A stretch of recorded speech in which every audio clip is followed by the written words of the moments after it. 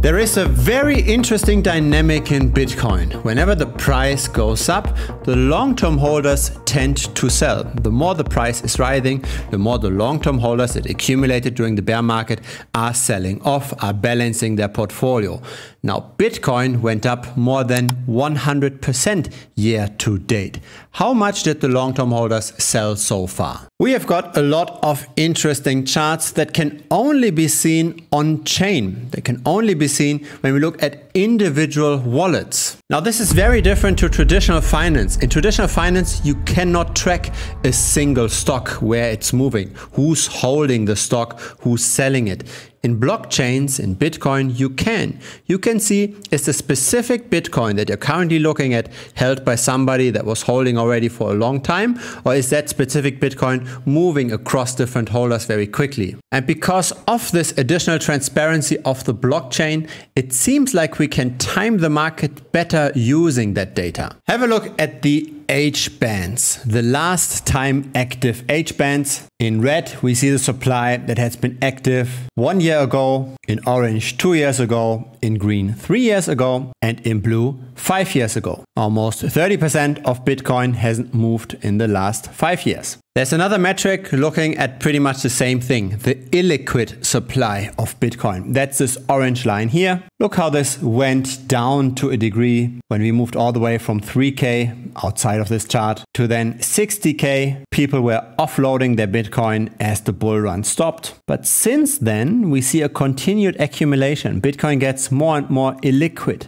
which is good. You want to have as much Bitcoin held up by diamond hands as possible, as many people joining the cult as possible, because this is in the end what lets the price rise. Whoever joins buys up the tokens. The less liquid supply there is, the more additional purchases can push up the price as well. There's a leverage effect in the price versus the illiquidity of an asset. The more illiquid something is, the more the price can move up or down. This is the first chart where we can see the actual distribution at the end of the last bull run. So in red on the left, we see how the long-term holders tended to sell into the new people that just joined the bandwagon. Whenever Bitcoin hits new all-time highs, then the media is talking about it, then a lot of new entrants come in and the long-term holders sell. That's what's meant here by the holder net position change in red. Now we can already see since Q2 of 2021, this has changed in aggregate. In aggregate, more and more holders entered the space,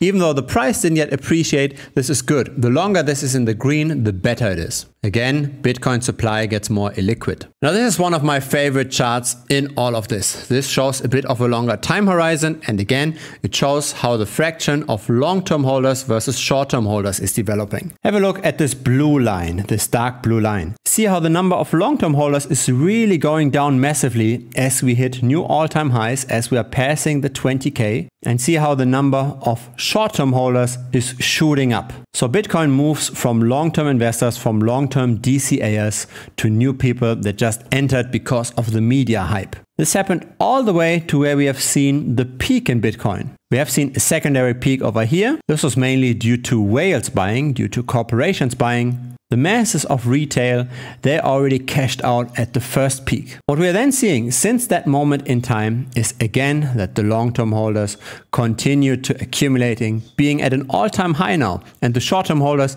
being at an all-time low. This is exactly the kind of scenario you want. This is when then subsequently the price can rally, right? This is very similar to Q3 of 2020. Bitcoin tends to really become a long-term safe haven asset now. It was not that three, four, five years ago. Five years ago, people still said that Bitcoin is going to go to zero. People believed that it was all a fad, that Bitcoin will die, that it will go back to its triple or double digit prices.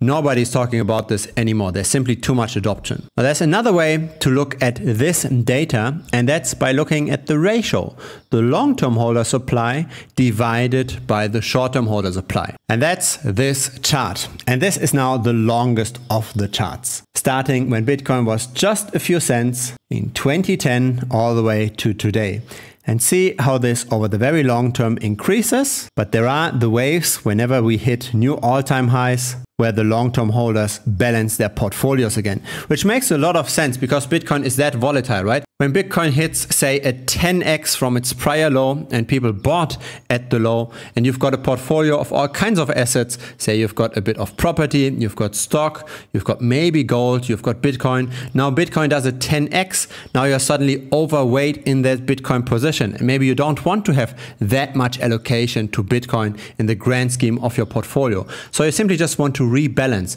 That's probably the main reason why we see the long-term holders selling when prices move higher and higher. Now, the fact that more and more Bitcoin is held by the long-term holders over the cycles simply tells us the increased adoption for Bitcoin as an investment vehicle. But seeing that the ratio is also at an all-time high now might tell us that once Bitcoin makes another run, once it passes the 100k, then very likely we will see again the long-term holders selling.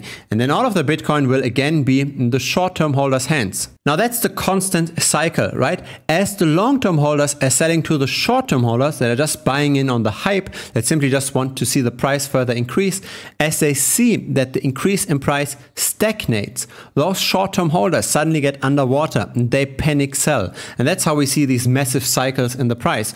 The long-term holders, they don't care. They just buy and dollar cost average in until they've got too much of an allocation. But when those same Bitcoin then move to the short-term holders, they simply just want to ride the current wave. They are not yet informed enough about Bitcoin to just dollar cost average and hold over many years. They just want to ride the short term wave, and when that stops, they are selling, and thus then creating this new dip, this new bear market that can be very brutal for Bitcoin. Sometimes we see 80 or 70% drops. Just looking at the last few months, this current rally, this 100% rally year to date, is definitely special because first time for many, many months, we now see all of the different wallet cohorts buying. Now, wallet cohort is simply just looking at how much Bitcoin does every wallet hold. Is it less than one Bitcoin? Is it less than 10 Bitcoin? Is it maybe 100 or 1000 Bitcoin? Depending on how much Bitcoin is held, you put in those different wallets in different cohorts. And you want to know, are the whales currently buying or selling? Is small retail currently buying or selling? what we currently see is pretty unique in the last months. And of course, we all know why. It's because of the Bitcoin ETF approval.